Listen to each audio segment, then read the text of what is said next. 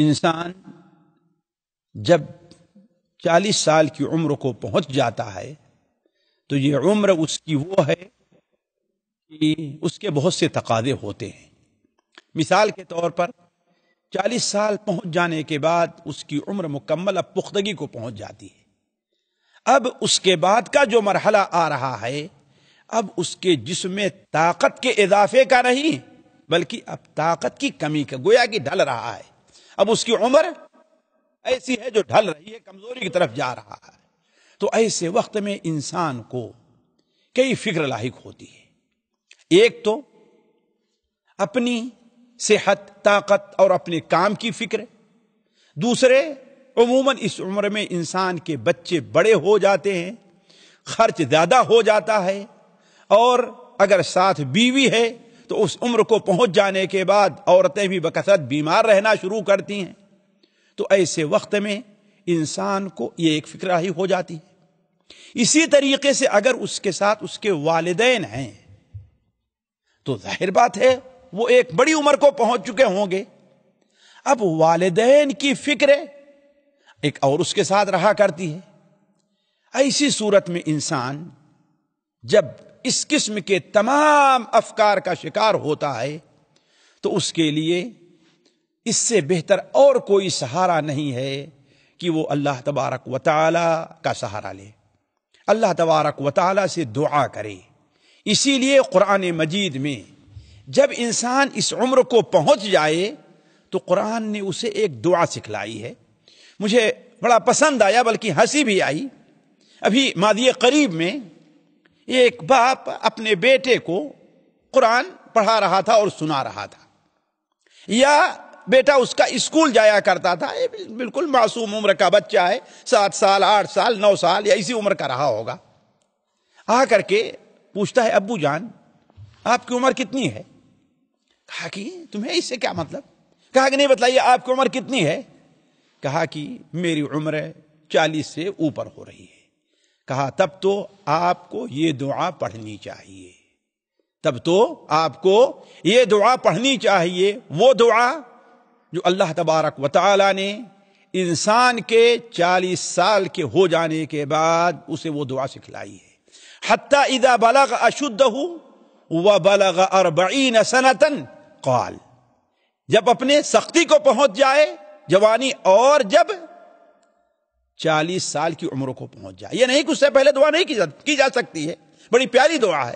لیکن خصوصاً جب چالیس سال کی عمر کو پہنچ جائے، تو انسان کو وہ دعا کیا کرنی چاہیے؟ میں اس لیے ایک بات کہہ رہا ہوں کہ ہماری بہنوں کو بہت زیادہ شکایت اپنے بچوں کے بارے میں رہا کرتی ہے۔ اپنے شوہر کے بارے میں رہا کرتی ہے۔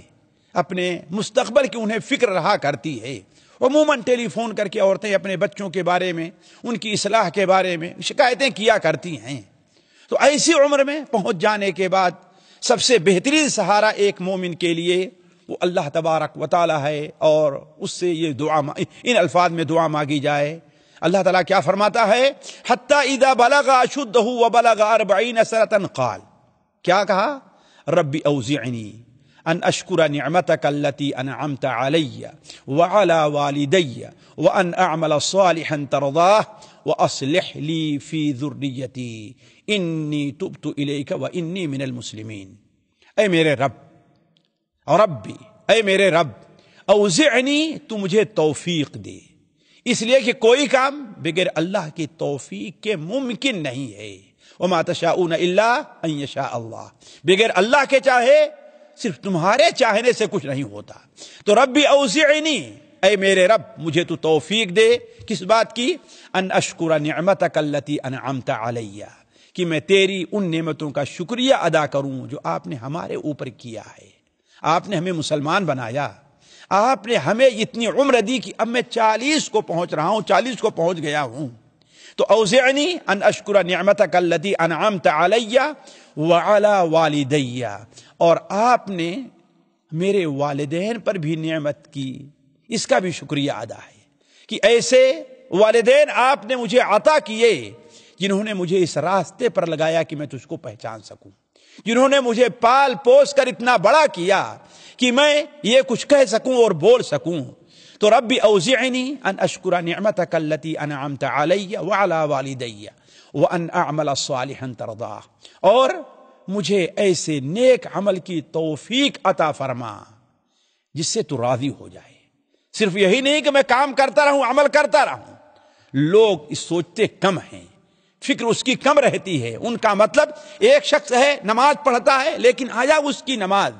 اللہ کے نزدیک مقبول ہے کہ نہیں ہے؟ اس پر کوئی توجہ نہیں ہوتی۔ اللہ اس کی نماز سے راضی ہے کہ نہیں ہے؟ اس کے بارے میں نہیں سوچتا ہے۔ نہیں۔ وَأَنْ أَعْمَلَ صَالِحًا تَرْضَا اے اللہ تعالیٰ، مجھے ایسے نیک عمل کی توفیق عطا فرما جس سے تو راضی ہو جائے۔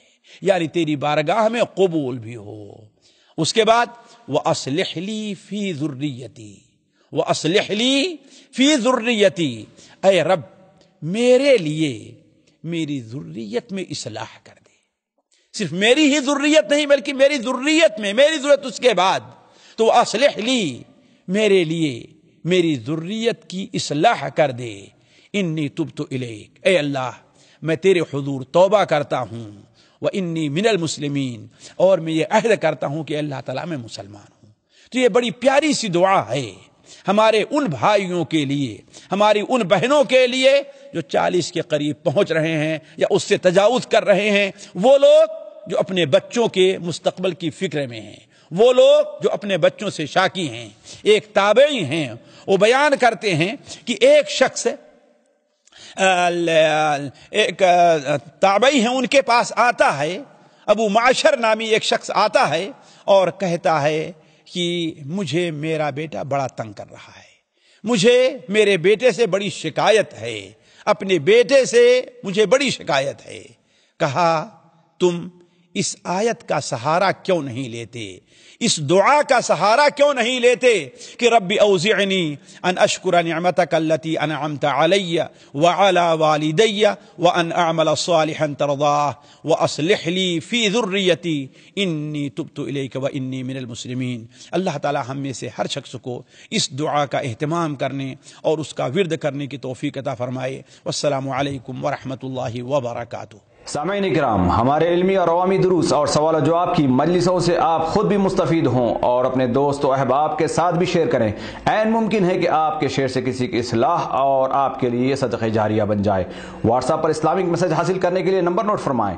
Yaqub Aziz, zero zero nine double six five zero eight nine five nine seven zero seven.